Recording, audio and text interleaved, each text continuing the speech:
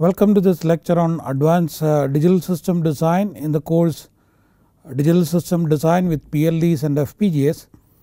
In the last few lectures uh, we were looking at the structure of the sequential circuit, uh, how to design it and in particular in the last lecture we had a look at the basically the timing analysis. We have looked at the maximum frequency of operation, hold time violation, Uh, then we have looked at uh, setup time when there are uh, setup and hold time and there are skews in the data path and the clock path. Uh, before moving to today's uh, part we will have a look at the quickly look at the previous slides so that we get continuity. So moving to the slide we were talking about synchronous counter and we said that designing a synchronous counter means putting uh, the, the flip flops all clocked by the same clock and decode the present next state from the present state and that is a logic. And we form a truth table and then we get write the next state as a function of present state. And that is how the design is done. Any counter can be designed. And um, with when the clock comes with a delay of TCO the present state or the count changes. And since in this case there are 3 outputs we will take the worst case as the, the maximum delay as the, the TCO and uh, I mentioned that definitely there is when you show the picture in an abstract form there are details which you should not forget. That here there are different paths. It is not just 3 paths from Q2, Q1, Q0 there could be path to D2, D1, D0. In this case there is only um, D0 has only one path, D1 has 2 paths and D3 has 3 paths from the output. But in general case you know there could be if there are uh, n bits then there could be n square uh, paths uh, in this case and we also have looked at an up down control essentially we are modifying the logic. We are giving this as an input and forming a truth table and coming out with the equation for DIs. And in this case we find that the next state is a function of present state and inputs. And uh, the next question we have uh, looked at is that can we kind of get rid of this flip flop and make it asynchronous. It is possible but then you can have there can be races output races which is difficult to control. But asynchronous circuit is very fast because there is nothing like there is no clock uh, you know kind of blocking it and opening the path um, you know uh, to control it. So it can be very fast. It can move on at the, at the maximum speed uh, but then it is difficult to control because of the unbalanced path delays and this is the, the, the essential thing we have looked at the last class. Um, in this case for a counter there are two uh, timing issue we have to look at one is a maximum frequency. So the minimum clock period is, is the delay of the flip flop TCQ the combination delay plus the setup time. So that we are analyzing from one clock edge to the next clock edge. So here from one to the next so at this point you see the data comes after the delay TCO at this point it is coming after TCO plus TCOMP and we know that data has to be set up uh, setup time before the next clock edge. So the minimum clock period is TCO plus TCOM plus T setup. And we give a margin called slack and the, the maximum frequency is the inverse of the, the minimum clock period. One uh, surprising thing is that the hold time does not picture in the, the whole, uh, whole uh, expression for the clock uh, period uh, but we have to make sure that the, the hold time is not violated. That means data at this point should remain uh, there sometime after the clock edge and if you care to think about it it is enough if you think like when the clock edge comes how long it is going to it takes to change this uh, next state that we know that if a clock edge comes uh, the, it takes TCQ plus TCOM uh, time for this to be changed and that is shown here. So it is enough that the minimum TCO plus TCOM is greater than this hold time then there is no violation okay. So uh, that is what is mentioned here TCO min and TCOM min is greater than the T hold max. In this case we take care of uh, I mean we have to consider the maximum delay but in this case it is the minimum uh, delay and um, if uh, you find that you know suppose you fixed in a design the clock period and if the, the, the worst case delays delay path violate that uh, clock period then you have to reduce the clock period okay that means uh, uh sorry reduce the clock frequency and increase increase the clock period okay. But if there is a hold time violation you find that TCO min plus TCOM min is kind of less than hold time um, the clock is not uh, something to be considered because um, in the earlier uh, analysis we are considering the timing from one clock edge to the next clock edge.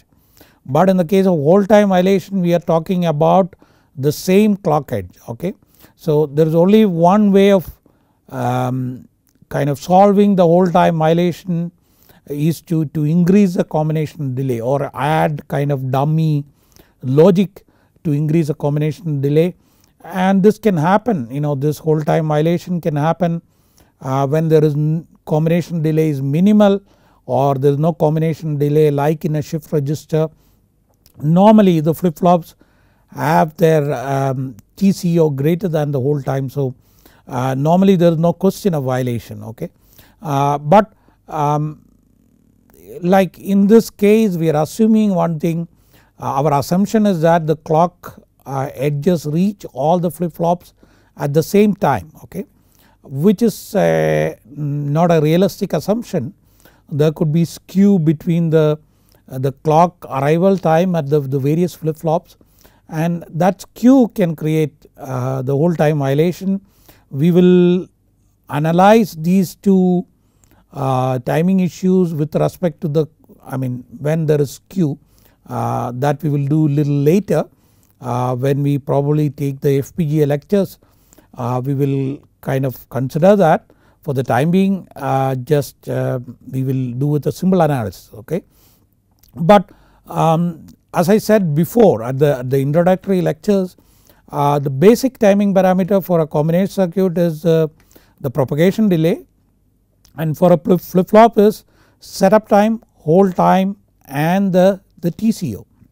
Now you see that when it comes to sequential circuit with this TS, T hold, TCO and TCOM we are building you know we are going one level up uh, we are coming out with expression for the minimum clock period and condition for the hold time violation. So these two are um, the kind of important timing um, detail of the, the sequential circuit or any register to register data path. So, so that has to be understood and next thing we have looked at was um, like it, it this is applicable to any register to register path you know.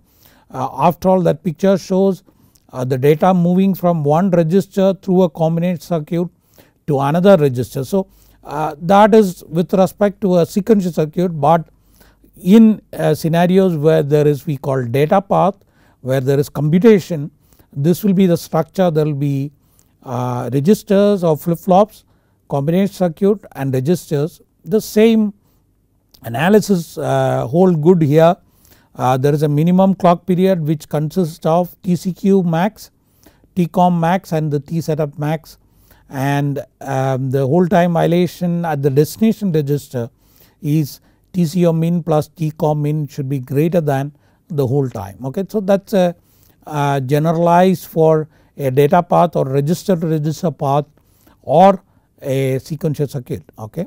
And we have looked at uh, the setup and hold time with skew when there is a skew in the data path when uh, we refer to the external point uh, the setup time increases because this delay I mean you have to set up the data much before so much time before at this point okay. So you see that with respect to D dash uh, here the setup time was 2 nanosecond. Setup time has increased to 4 nanosecond. But the hold time has become negative because the at this point the hold time spec was 1 nanosecond. That means it remains there 1 nanosecond after the clock edge but since this delay holds a value for 2 nanosecond uh, in principle uh, like you can remove the data with respect to clock like 1 nanosecond before the clock edge at this point and at this point it will be correct. So uh, as I said uh, the setup time is measured as the time before the clock edge to, to this side and the hold time is, um, is uh, measured uh, as the time after the clock edge to that side okay. So when the, the hold time is towards the left of the clock edge then it becomes negative and negative hold time means that at the point of reference it can be removed. The data can be removed before the clock edge but this delay will hold it and at the at the point at the input of the flip flop uh, that will be correct okay? That's so you don't need to worry about a negative hold time. And if opposite is the case when there is a delay in the in the, the clock path or there is a skew in the clock path then we have a clock dash which is at this point which is coming earlier to this clock. So now you see that um, uh, the setup time was 2 nanosecond with respect to original clock at this point and the hold time was 1 nanosecond. Since the, the, the clock dash is coming earlier to it and we can actually we can uh, now set up the data much later at this point because clock is at this point clock comes only after 3, 3 nanosecond. So you can see that the setup time has become negative. That means we are setting up the, the data at this point with respect to this clock point um, after the clock edge. But when it comes here it will be correct. But the hold time has increased okay. It has become 1 plus 3 nanosecond. This has become kind of 2 minus 3 which is uh, minus 1 nanosecond.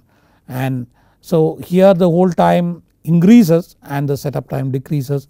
It can even go to negative value as I said uh, it means that you can set the data uh, set up the data after the clock edge that is the meaning of it.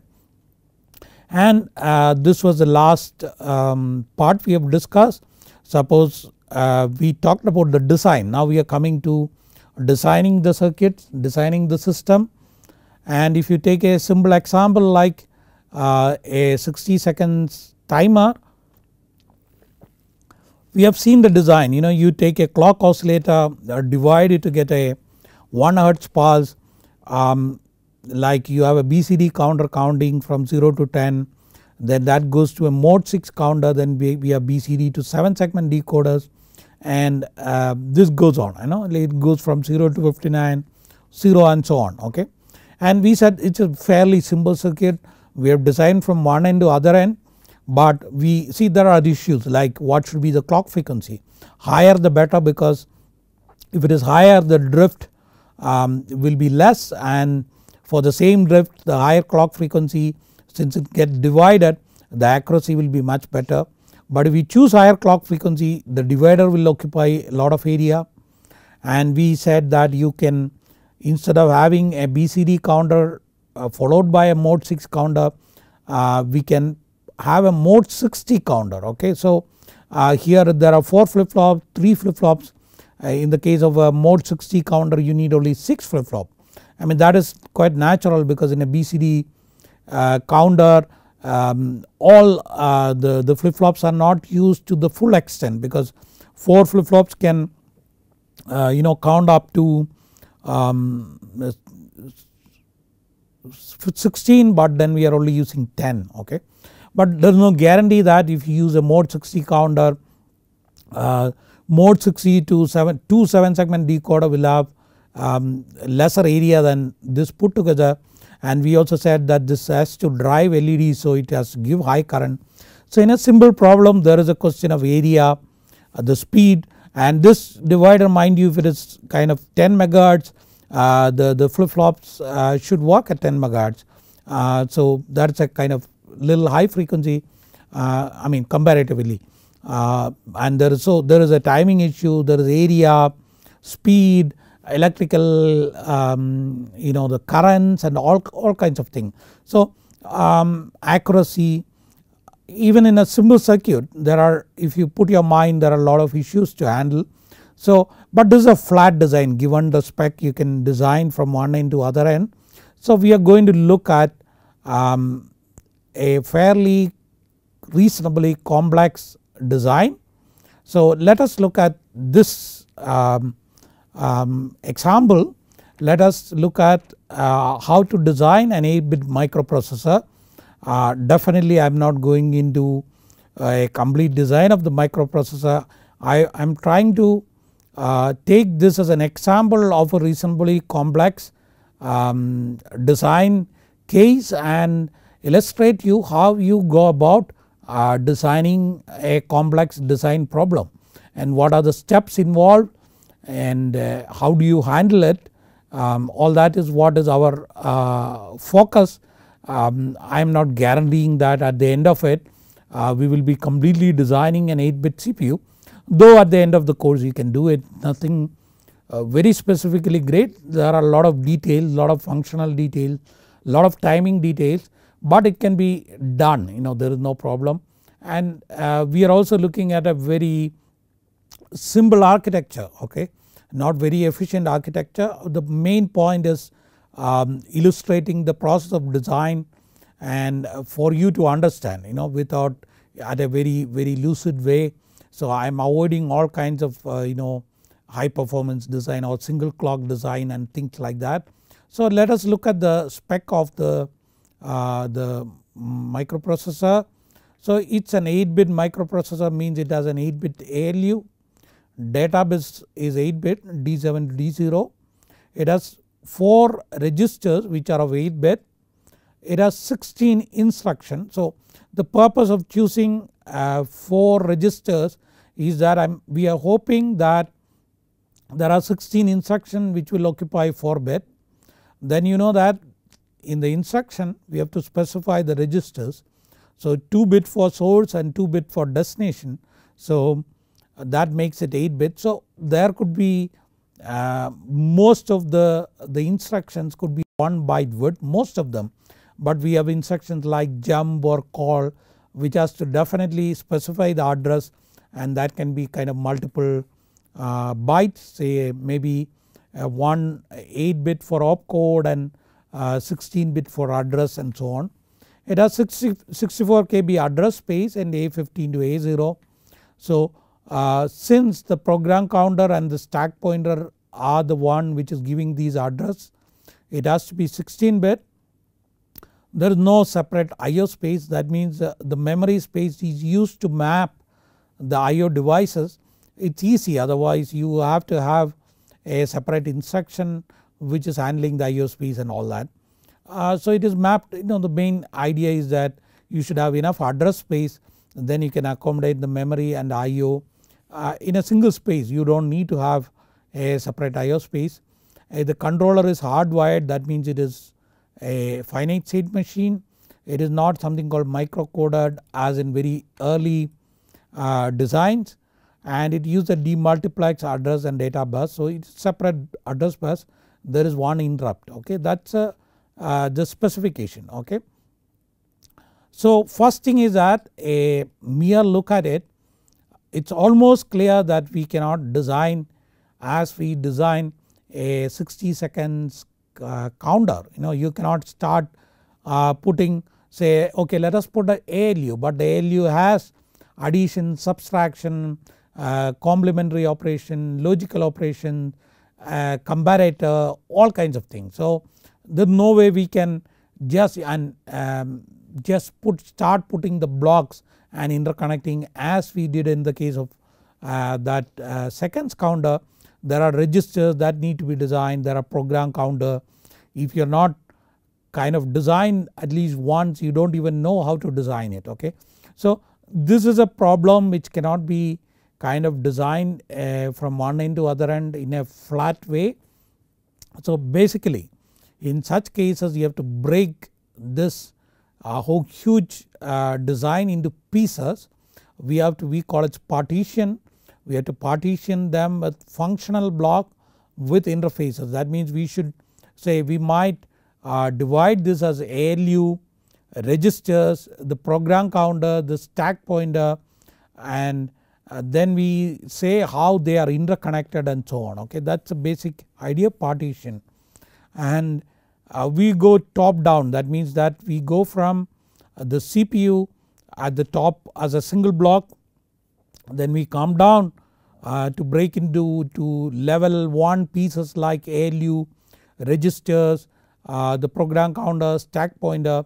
Then we take the ALU and further design it. uh, which is composed of adder, subtractor, comparator, uh, the logical operations and so on. So that is how from the top to bottom we come down as, as we come down to the bottom there are lot more blocks quite a lot of blocks each block at the level 1 will be kind of exploded into level 2 uh, blocks and so on. So that is called top down design and at each level we have to look at the, the functional specification, timing specification, electrical specification and all that okay. Now when I say top down design this is applicable to any design whether it is kind of software design or an aircraft design or organizing a complex uh, uh, function all that you know say you have to organize a big program then you have to have committees looking at the uh, the whole arrangement the, the, the speakers and the, the food and uh, mementos and so on you know the, the, there are finance all lot of things. So uh, that is all any complex things has to be broken down into pieces and handle uh, that, that is all only thing is that you have to have experience in the game otherwise you can't do it. If you haven't organized a big function um, it is very difficult to organize the first time. So you have to get in a team get the experience and do that okay. Similarly uh, if you want to do an aircraft design uh, it is composed of various pieces unless one go through it for a long time get enough experience then only you can design that. Similarly with, with a digital system when you want to design a complex uh, thing like a processor you should know about processor and you should know what are the blocks of the processor, how to design them, how to integrate them and all that. So you need a very good domain knowledge and experience and expertise to do it. But uh, my point is that the only way to do is that a top down approach uh, you know going from top block all the way down to small blocks. So let us look at uh, the CPU at the top level. So in our case uh, this is uh, the block diagram of the CPU at the top level. We have clock reset and interrupt as input, read write and address as output and data as bidirectional um, uh, you know port and so uh, many people kind of hesitate to draw such a block diagram at the top level it may be simple but nevertheless you have to draw it to bring clarity and what are the functions at this level okay. There are definitely there are a lot of functional spec you have to decide at this point of time. You have to decide whether the CPU is going to execute instruction in a single clock cycle or multiple clock cycle. It has to be pipeline, what is the instruction format, what type of instructions you support all that comes in kind of a functional spec and when it comes to the timing spec you might think there is much there isn't much timing at this point of time but you see there is definitely uh, there is timing on the clock reset interrupt but the very important thing is that you know that the memory and the peripherals are connected to this data bus uh, be the CPU uh, uh, is along with the peripherals uh, is, is in a single chip or it is external does not matter but you know that uh, there is something called the bus cycles which um, essentially access memory and peripherals. So it goes like this maybe in the first clock cycle the address comes, uh, the second clock cycle the read bar comes then the data comes on the data bus. So that need to be specified how many clock cycle it take um, uh, for the bus cycle to complete for an instruction uh, related to the memory or peripheral to complete and that could be asynchronous that could be synchronous. So there is timing uh, spec and when it, when it comes to electrical specs we know that this address and data lines and these lines are connected to multiple peripherals and memory. So that should have good uh, driving the, there, there it has to source and sink uh, large amounts of current it is not in terms of microampere it, it, it has to be in the order of milliamperes uh, then only it can drive multiple loads. So all these are the spec at the, the top level we call it level 0 and now we break this into kind of level 1 okay. So let us look at the level 1. So I must say that this is a uh, something which I have put it very quickly uh, for the instruction purpose. I do not claim a very great accuracy there could be some kind of timing issue but the basic idea is uh, sound you can kind of follow this and make a CPU it is possible. Uh, and this is a very simple CPU which works in multiple cycles. That means it takes uh, maybe multiple clock cycle for instruction to complete. And one instruction is fetched it is executed. Then only the next, next instruction is uh, fetched. So it is a multiple cycle CPU. So let us look at uh, the partition so you see that there is an instruction register, encoder, a controller, an ALU with temporary registers, um, 4 registers, a program counter and a stack pointer okay. Now the program counter or the stack pointer depending on uh, the instruction or the situation uh, drives the address bus. There is an internal single data bus which, which connects all the data uh, path elements or the, all the registers and combination circuit basically registers because the, the combination circuit can cannot be directly connected to the data bus um, only the, because there is a single bus only one of the kind of um, uh, output can drive. So if you have a combination circuit you should put a kind of tri-state bus to the connect to the data bus okay. So now um, so there, there is an internal data bus but uh, the modern CPUs might have separate buses because so that many things can happen parallelly because th there may be a bus for the instruction to get into instruction register. There could be a bus between registers and the ALU and so on okay. Uh, of course they has to be at some point interconnected but, but for simplicity we assume a single data bus. So let us look at these 4 registers and uh, registers are you know 8 bit registers and it gets the data input from the data bus. It also drives the data bus okay because sometime an ALU output has to come to the register or an instruction part of an instruction might get loaded into a register. Sometime the register as output has to go to the data bus to the ALU input or to the memory and so on or depending on the instruction set. So registers input and output both are tied to the, uh, the data bus. Input is not a problem because all the inputs can be driven by the data bus but um, the output um, only one of the output should drive the data bus. So uh, there has to be a tri-state gate, 8 tri-state gate uh, between the output and the data bus and the controller makes sure that only one of the uh, registers or one of the load drives the data bus okay. And another important point is that you see there are 3 control signal to the registers all registers and one is clock which goes to all registers and there is a register A enable for register A.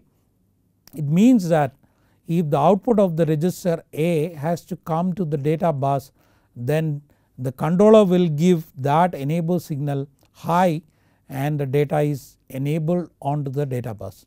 Similarly if uh, there is a data on the on the data bus which need to be latched onto the register then the controller gives this register A latch as a level signal and when the clock edge the positive clock edge come the data get latched onto the register A okay. So that is our operation that is true for this temporary registers you see there is a latch signal and there is a clock signal. When the latch is 1 and the clock is uh, uh, you know active active clock edge the data get latched. This is a very uh, convenient way of uh, latching the data because you could think of other way you know you could think of um, the controller clocking the register maybe say controller makes initially this clock is 0 uh, for a register and controller make it 1 then make it 0 uh, then it gets a kind of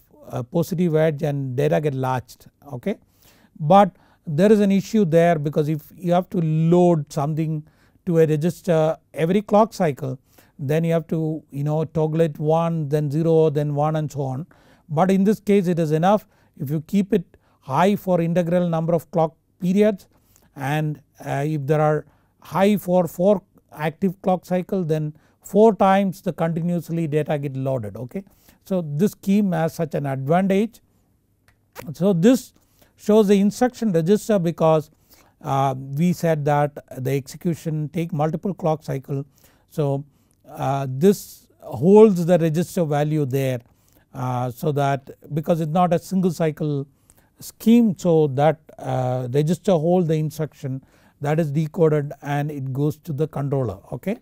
Now when you look at the program counter you see the program counter is the output is the one which is driving the address bus and sometimes the stack pointer drive the address bus. You know that when an instruction like a call comes uh, the, the content of the program counter is pushed onto the stack and stack means the part of the memory at that time the address of the memory is given by the stack pointer okay.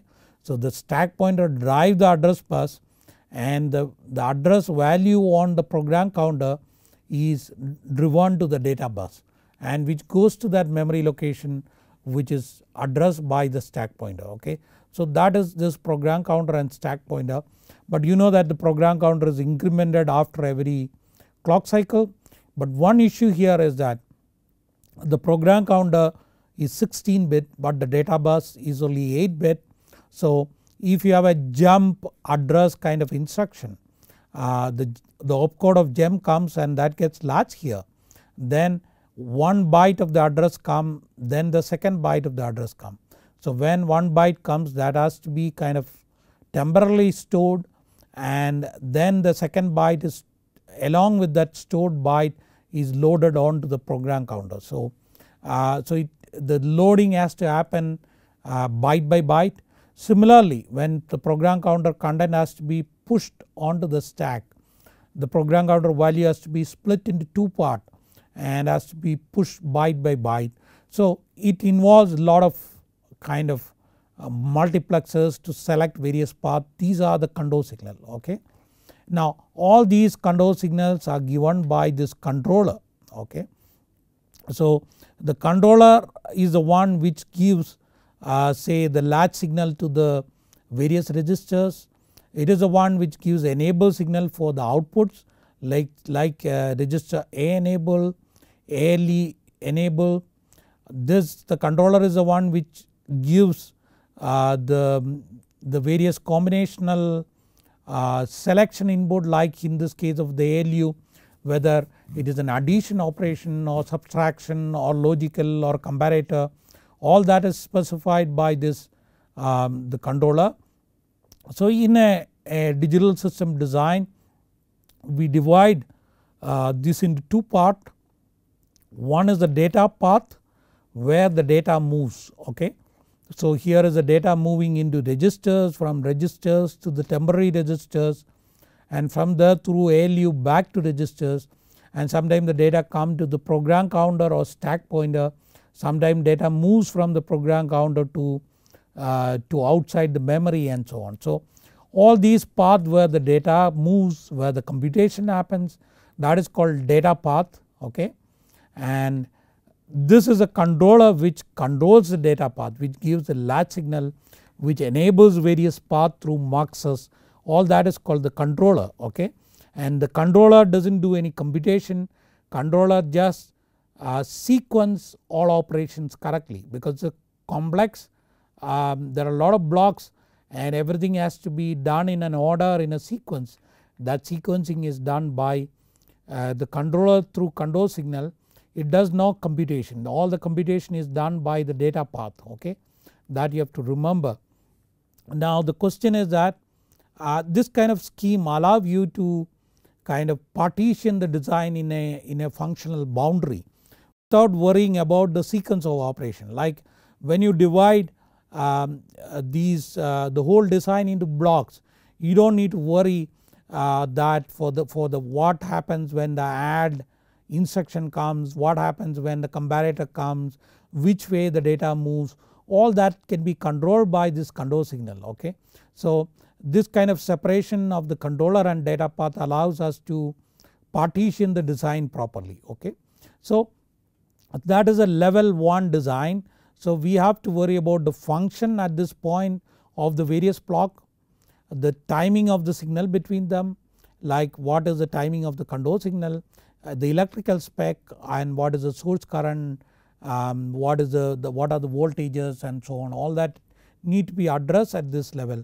Now like at this point we are not, not in a position to say the design is complete because ALU is a complex block even registers are not broken down into kind of non pieces or higher level blocks as we call. So this has to be further designed okay. So let us look at the uh, register okay. So when you talk about uh, the data path uh, I want to mention that data path composed of registers and combination circuit. Uh, in our case there are register the ALU there is combination circuit within the program counter and the controller is something called a finite state machine. And that also is composed of registers and combination circuit.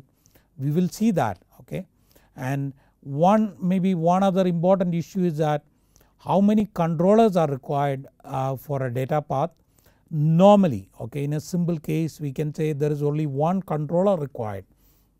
But in a data path if there are two asynchronous activities going on that means there is some operation in, uh, in a part of the, uh, the system which is not happening in synchronous with other part then you need a separate controller for that two mutually asynchronous uh, part okay. But in principle uh, if you have everything is kind of uh, synchronous with one clock you need only one controller but then the controller operation can be very complex. So but when there is complexities involved we might divide um, the, the data path into multiple blocks and you could have multiple controller for each, each, uh, each part and you can have a top level controller controlling this uh, the level 1 controllers uh, separately. So one can think of a hierarchy of state machine in the case of complex uh, design okay. So let us look at uh, these registers how to design them. And when you take a register uh, you should know that this is an 8 bit register.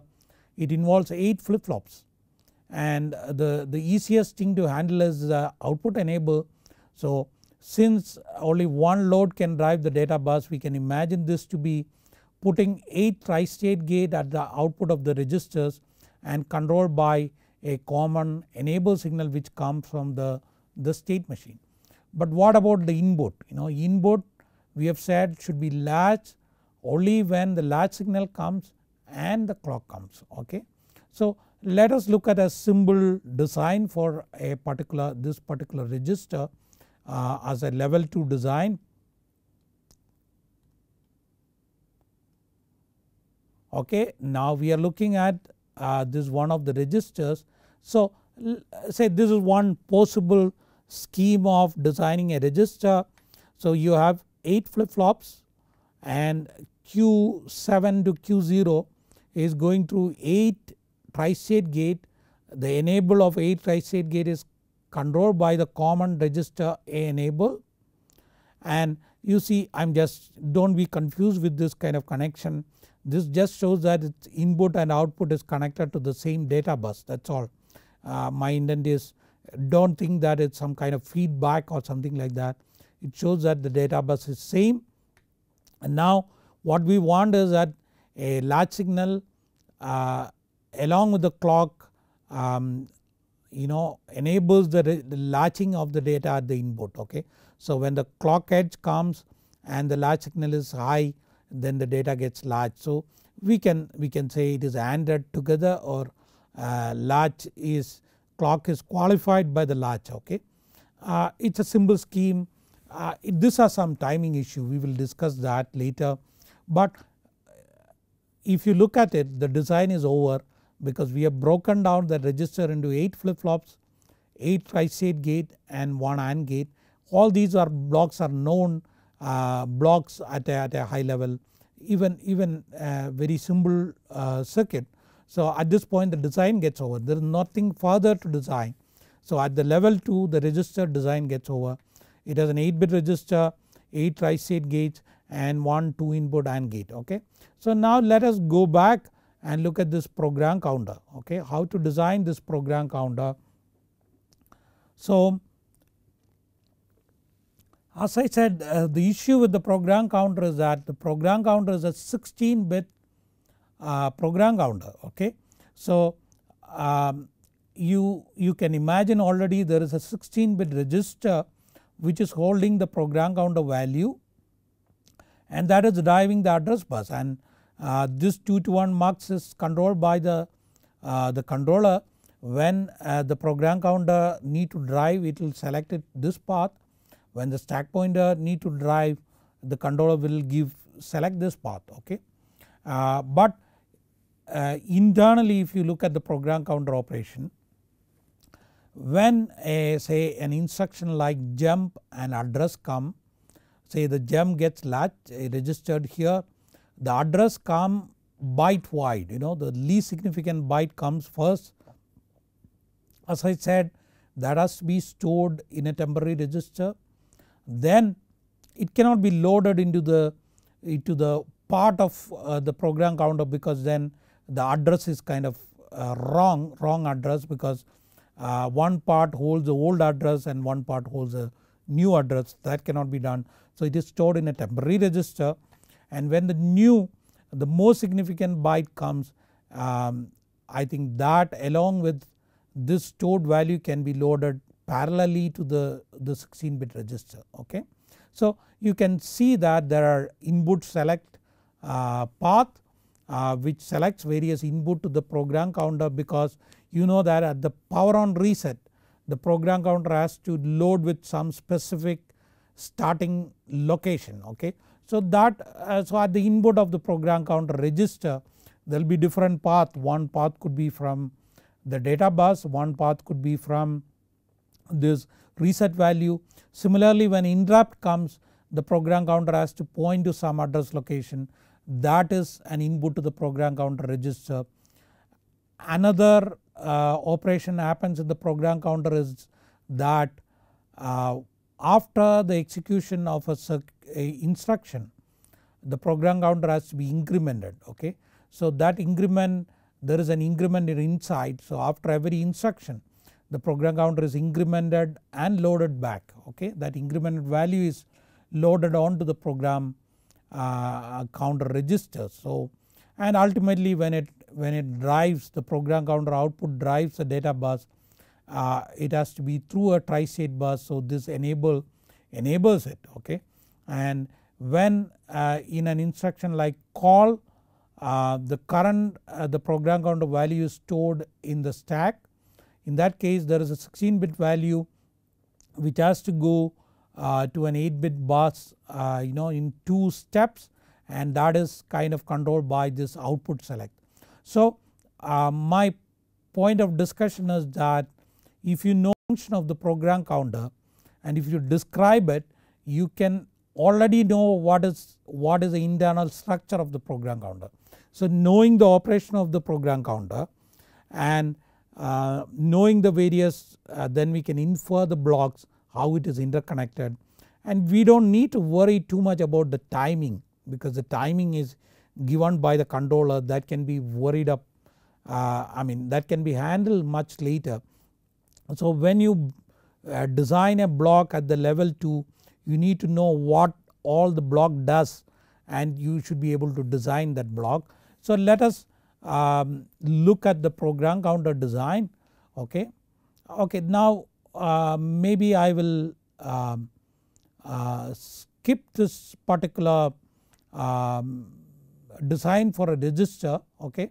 So I have shown a possible implementation of a register there is another possible implementation here uh, which is uh, like you see the earlier case the latch signal was kind of ANDed with the clock but in this case the latch signal goes to a 2 to 1 mux okay and when the latch signal is high the input comes to the to the flip flops or registers and the clock when the clock comes it gets latched.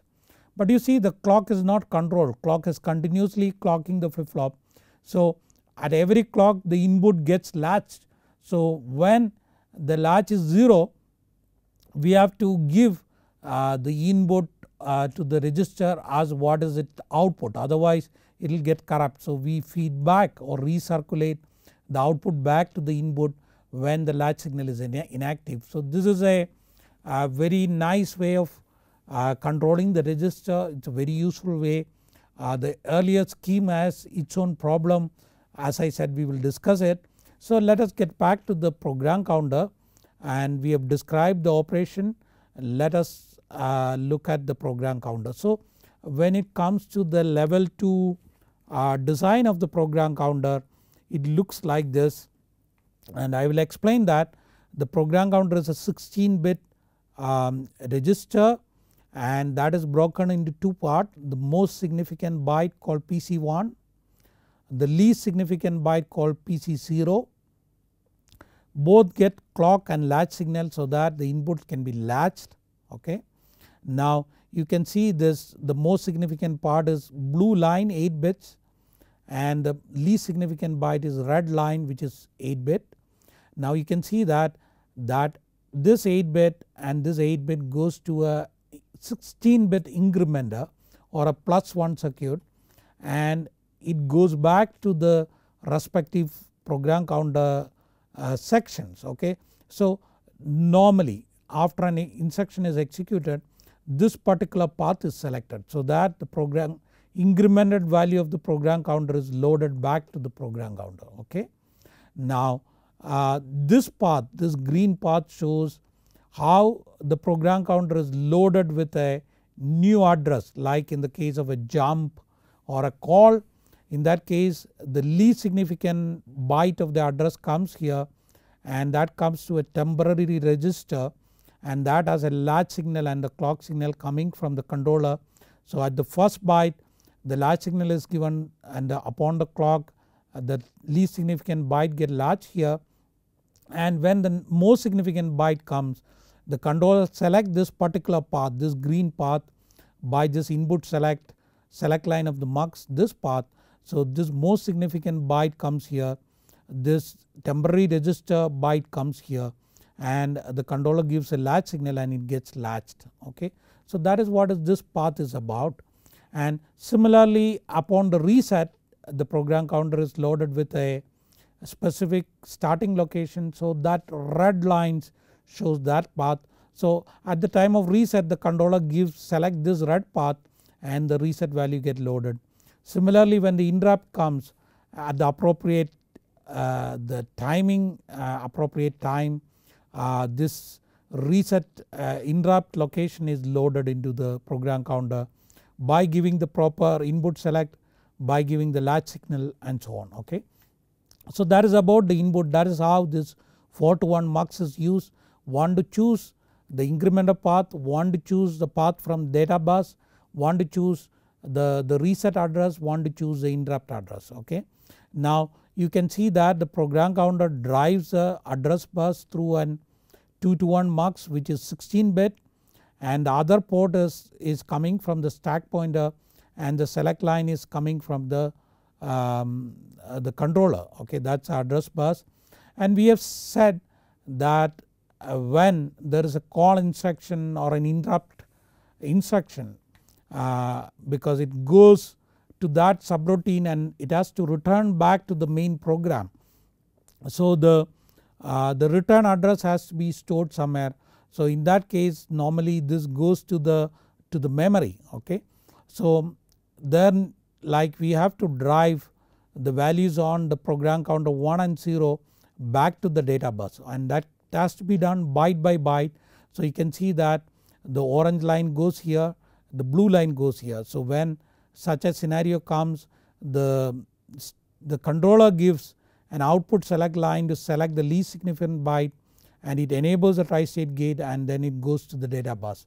In the next clock cycle this path is selected and it drives the data bus. So that is the, the design of the program counter. So knowing the operation of the program counter we are able to kind of break it into pieces and we are able to design the data path um, uh, through this maze of the block.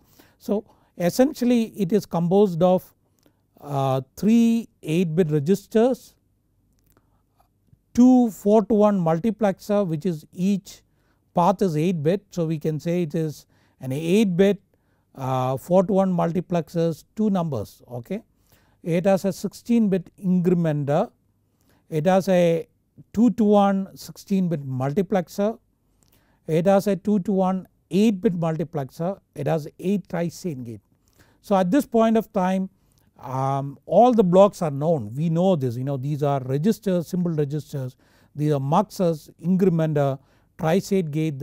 We can say the design is completed. We might um, you know the code the design in a hardware description language or we draw a schematic. It does not matter we have broken down that complex block into simple blocks which is known um, high level combination blocks like uh, the muxes or encoder or decoder adder subtractor. Then it can be uh, we know the circuit and that can be designed. So the uh, that is how we design from uh, top to bottom. Maybe you can handle uh, the, the stack pointer yourself. You can give a uh, try with you know try at that and uh, so we have looked at the, the, the flat design where there is a symbol uh, counter is designed a top down design in the case of the CPU and that is as I said any complex system is designed top down. There is something called bottom up design which, which is like uh, say you start with a very simple block like say uh, you design the the program counter then you come uh, you design the, uh, the registers and you design the ALU and try to integrate it which, which does not work in practically. But what can be done is that suppose you have tried to design the CPU you have made the level 1 um, diagram then the level 2 diagram um, uh, then at that point you are not very clear about the program counter maybe you can start bottom up by putting the blocks otherwise all complex design has to be top down otherwise it would not work and then um, at each level we have to, to worry about the functionality, timing, electrical characteristics, power dissipation and so on okay. So that is in a nutshell how you design a complex uh, circuit. So in this lecture today's lecture we have looked at uh, we have jumped from a very simple design to a reasonably complex design. Uh, we have looked at the, uh, the design of a CPU and we said it cannot be handled in one shot like a flat design. Uh, it has to be partitioned into known functional blocks and then each block has to be further maybe partitioned and uh, designed uh, to a level where we know the blocks you know to the level of registers and non-combinational blocks then we can stop the design okay. So that is top down design. That is applicable to any complex system. And we have looked at uh, the level 1 diagram of the CPU and we have looked at what is a data path. Data path is where uh, the data operation happens. You know it is composed of registers and combination circuit. In the CPU you have most of the data moving between the memory and the instruction register or between the various registers ALU and back to the registers between registers and memory and so on and the memory and the program counter all that as where the data movement happens. So all that forms a data path and then there is a controller which controls the latching of the data, enabling of the data to the data bus, choosing various paths in the data path all that is the job of the controller and it does no computation and um, controller does absolutely no computation it, it coordinates it sequences the operation in the data path.